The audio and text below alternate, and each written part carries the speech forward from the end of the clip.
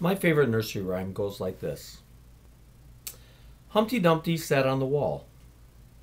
Humpty Dumpty had a great fall. Now, all the king's horses and all the king's men couldn't put Humpty together again.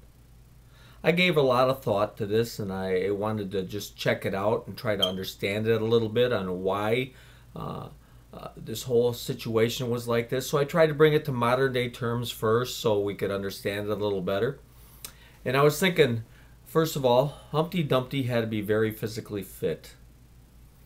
And it goes sort of like this. One day Humpty was walking down the, the sidewalk there and going through the park and the sidewalk and, and, and he comes across this wall and he looks up at the wall and he's like, you know, that'd be a great place to sit and just watch everything going on in the park and and just enjoy the cool breeze of the day and it'd just be an awesome place to be. So Humpty Dumpty, and if you remember what Humpty Dumpty looked like, Humpty Dumpty was an egg with just arms and legs and and that was pretty much it of Humpty Dumpty and Humpty Dumpty climbed up that wall he climbed all the way to the top of it and he sat up on that wall and he was just enjoying the day. Now, something must have happened. Something pretty catastrophic must have happened because Humpty Dumpty fell off that wall. Now, he was physically fit. He was able to get up on that wall by himself. So, obviously, that's not, that's not going to be something that's very easy for him to fall off of. But he did.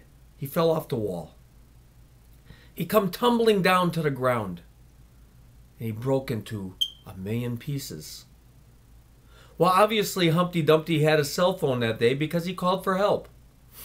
He knew that he needed help and he wanted to go to what would be the best. He just didn't want to call his family. He didn't want to call his friends. He didn't want to call just the paramedics. He wanted to call what was going to take care of him at no, at no expense on helping him. So he called the president. He's like, Mr. President, I got a problem. This is this is Mr. Humpty Dumpty here. I fell off the wall and I'm in a bunch of pieces. I need help. I need help bad.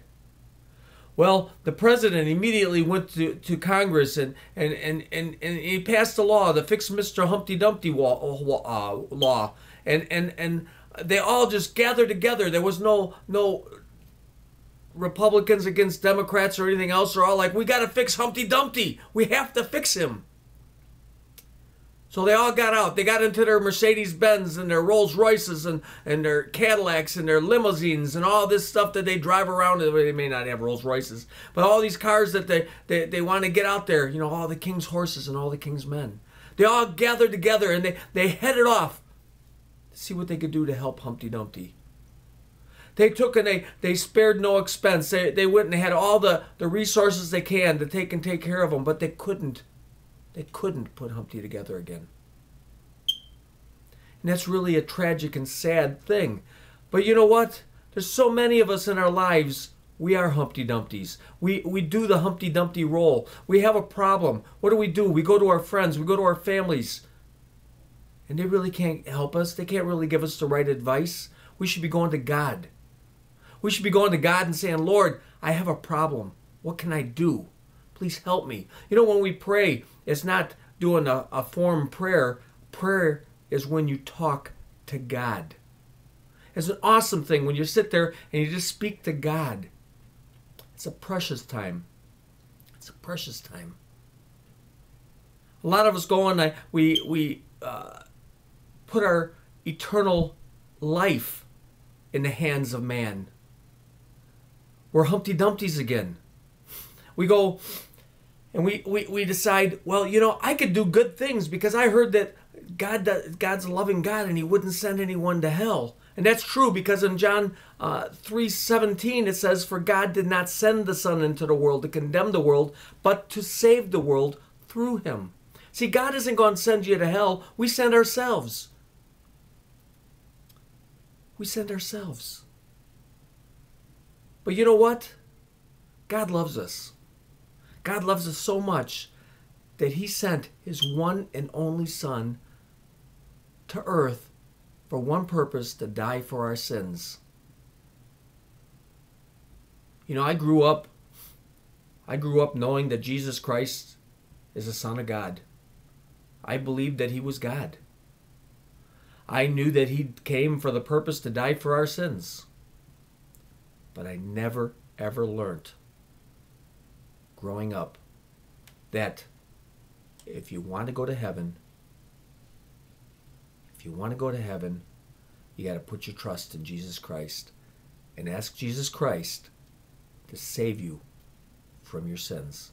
See, Jesus died on the cross for our sins, but it doesn't mean nothing if we don't ask Jesus to let us be part of that. If we don't say, Lord, I know I'm a sinner. Make me part of what you did on that cross and save me from my sins. You got to pray from your heart and in your own words and ask the Lord to save you.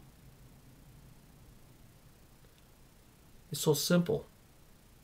It cost Jesus Christ, it cost him everything, but it cost us nothing.